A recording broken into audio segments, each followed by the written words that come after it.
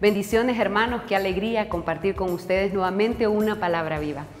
Como sabemos, la balanza es un instrumento que nos sirve en una abarrotería o en una pulpería para pesar algunos productos y dependiendo lo que pese, le damos un valor que nos sirve para vender. En muchas ocasiones los cristianos nos volvemos una balanza dentro de la iglesia que sirve para medir o para pesar al otro.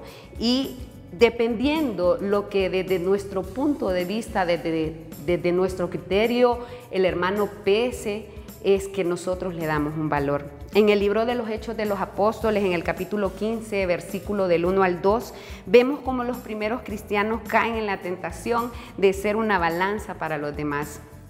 Bajaron algunos de Judea que enseñaban a los hermanos, si no se circuncidan conforme a la costumbre mosaica, no pueden salvarse.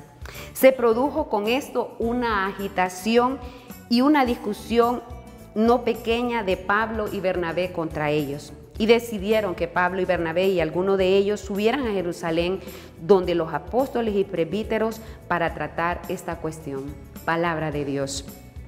Estos nuevos cristianos que anuncian a Cristo eh, están diciendo desde su punto de vista que para salvarse es necesario ser circuncidado.